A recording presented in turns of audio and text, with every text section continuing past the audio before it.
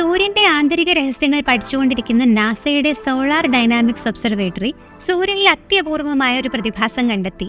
പാമ്പ് പോലെയുള്ള ഒരു ഫീച്ചർ സൂര്യന്റെ ഉപരിതലത്തിലൂടെ ഇഴഞ്ഞു നീങ്ങുന്ന ദൃശ്യം കഴിഞ്ഞ ദിവസം അതായത് രണ്ടായിരത്തി ഇരുപത്തി മൂന്ന് ഡിസംബർ ആറിന് റെക്കോർഡ് ചെയ്യപ്പെട്ടു. സിഗ്നോയിഡ് ഇറപ്ഷൻ എന്നറിയപ്പെടുന്ന ഈ ഒരു പ്രതിഭാസം സൂര്യന്റെ അന്തരീക്ഷത്തിലെ കാന്തിക മണ്ഡലങ്ങളുടെ വളരെ പെട്ടെന്നുള്ള ചുരുളഴിയൽ മൂലമാണ് ഉണ്ടാകുന്നത്.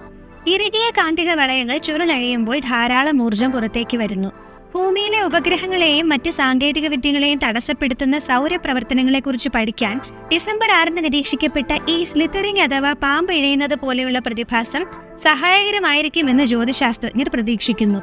രണ്ടായിരത്തി ഇരുപത്തിരണ്ട് സെപ്റ്റംബർ അഞ്ചിന് സമാനമായ ഒരു സംഭവം റെക്കോർഡ് ചെയ്യപ്പെട്ടിരുന്നു. സൂര്യന്റെ അന്തരീക്ഷത്തിൽ ചൂടേറിയ പ്ലാസ്മയിലെ കാന്തിക ക്ഷേത്രങ്ങളാൽ സസ്പെൻഡ് ചെയ്യപ്പെട്ട ഒരു ട്യൂബാണ് പാമ്പ് പോലെ ദൃശ്യമാകുന്നത് എന്നും അത് സൂര്യന്റെ ഉപരിതലത്തിൽ ഒരു വശത്തു നിന്ന് മറ്റൊന്നിലേക്ക് ഒഴുകുകയാണെന്നുമാണ് അന്ന് യൂറോപ്യൻ ബഹിരാകാശ ഏജൻസി അഭിപ്രായപ്പെട്ടത്.